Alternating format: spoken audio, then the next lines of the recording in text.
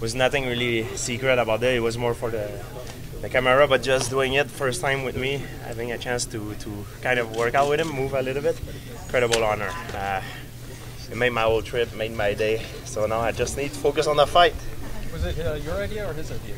It's the UFC that set it up, but they, know he's my idol. So for me, it's just amazing that he accepted it and great privilege, and great honor for me. You don't normally work out at these things, so you weren't going to plan to do it until you knew he was here, right? Uh, so You don't normally work out at these kind of things. You know, you, you don't like to do that. And knowing Royce was here, did that make you do it? Yeah, normally I don't I don't work out, I don't do this stuff, but now it was it was fun. Like uh, they found a good way to, to make me move a little bit. Has he always been somebody that you looked up to, George? yes, always. Um, I got bullied when I was young uh, at school by a bigger and uh, older uh, first peoples, and um, when I first saw the first UFC, I saw how he was the smartest one, the less intimidating of all, but the, the smartest, and. Uh, the way he won the, the tournament, it really inspired me, and uh, that's why I'm doing. I'm here right now, fighting for the titles. How much influence has the Gracie family had on you? Because you've also worked with Renzo, obviously John Danaher is a Renzo black belt. How much influence has the Gracie family as a whole had on your career? Oh, they're influenced the whole world, not only me, the whole world. Without them, we wouldn't like, wouldn't be uh, the sport wouldn't wouldn't exist. Do you ever go back and watch the, the first few UFC events and see how far it's come? Of course, I do. I know the name of most of all uh, the old guy. I, I respect them, and it, it was a different era, different time. It, it was much tougher back then. It was real fight, no fight, no time limit. It was no weight class. It was it was a real thing, you know. It was, it was incredible. Do you ever wish you could do that? I don't know. I would because when I watched it back in the day, I remember I, we didn't know what to expect. You know, it was the first time been done recently in, in modern time. And actually, I was watching the tape back then. I thought maybe someone could die, and uh, you know, we didn't know. It was unknown, and these guys had the heart of. They were so courageous of stepping in, in the cage at that time because it was unknown. They were the, the pioneer. I don't know if I don't think I would have have the courage to, to do that at at that time. It was it was too much unknown. I, I wouldn't I wouldn't have the, the courage. I would probably have stayed at school. What was it then that actually provoked you to get into fighting with the UFC and the Octagon? What was there a particular moment that you saw that really intrigued you? One time I was at my I was a teenager, maybe 15 years old approximately. I was at my friend's house and uh, it was like a little barbecue with his family, and he rented a tape, the UFC, with VCR tape back in the day. And so um, I watched it and right away I got inspired when I saw that man won won the, the tournament. It really I, it makes sense to me, and I, from there I, I decided to, to focus on that, and I, I became obsessed of doing this. You mentioned uh, you're not a fan of like rule limits and, and stuff like that. Are there any other rules about the early days that you'd like to see implemented today? Yes, I believe. That's why I believe in my sport. I believe we put the the round to mimic boxing to make the sport more accepted. But if you really want to see who's the best fighter, I believe you should just let them fight. Maybe a 15 minute fight without round or a 25 minute fight without, you know. And because sometimes when you stop the fight, it makes uh, it, it, it stop the momentum and it, it could change the result of the fight. I believe if you want to see who's the best fighter, you just let them fight. So for me, I believe uh, the sport will be more legit, more real if it wouldn't be any round. Uh, maybe the scoring system would be based on every five minutes. You know, they judge according to every five minutes of the fight. But I believe it should.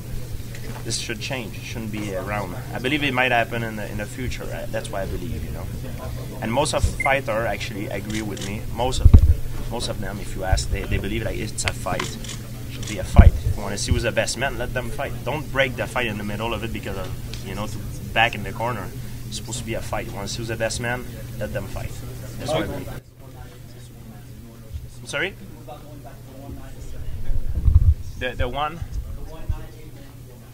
Oh yeah, that, that, but that's that is different. That was because this is this injury could occur, and sometimes matchup can affect.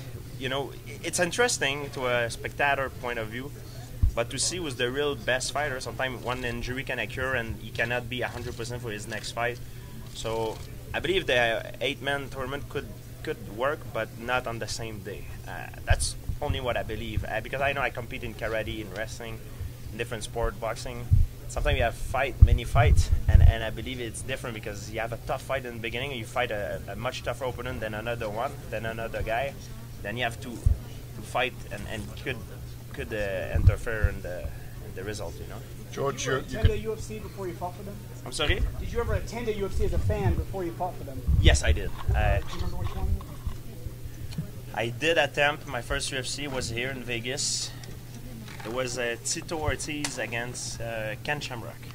40. And I attempted, and I walked into the octagon the night before the fight. I, I came with David Loiseau, one of my friends who actually fought in UFC. He fought for a world title.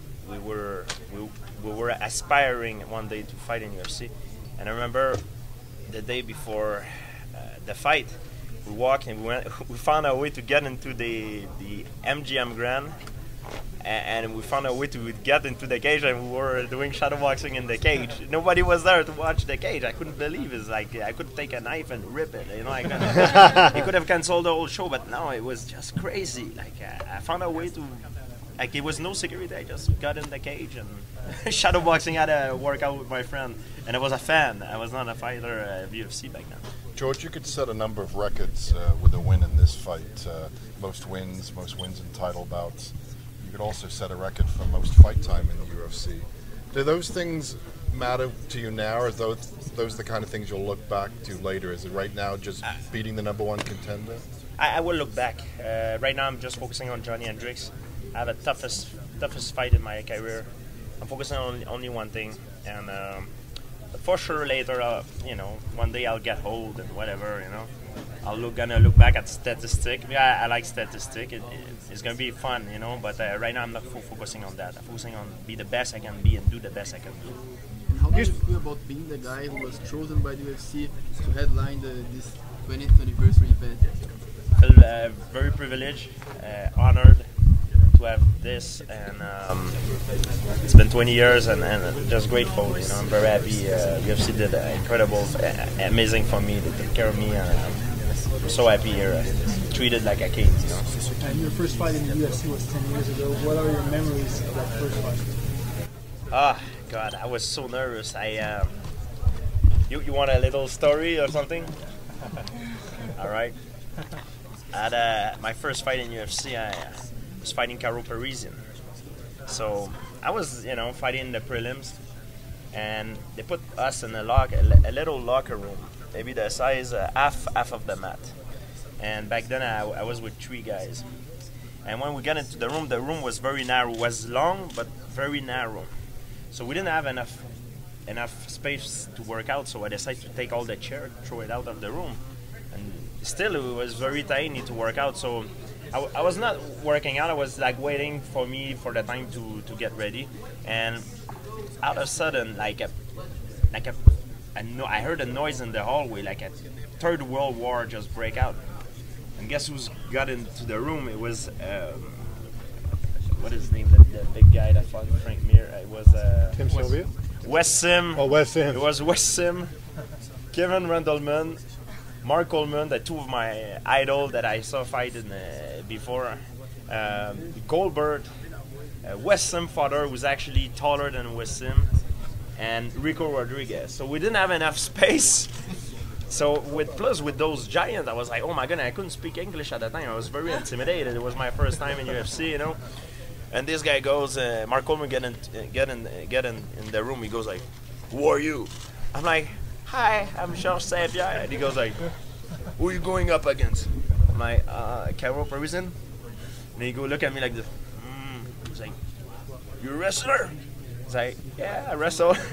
He's like, "Yeah, I'm rooting for you." And then, then, then they, they all that pandemonium broke broke broke out in the locker room. Rah! They got so agitated. I was like, "Oh my god!"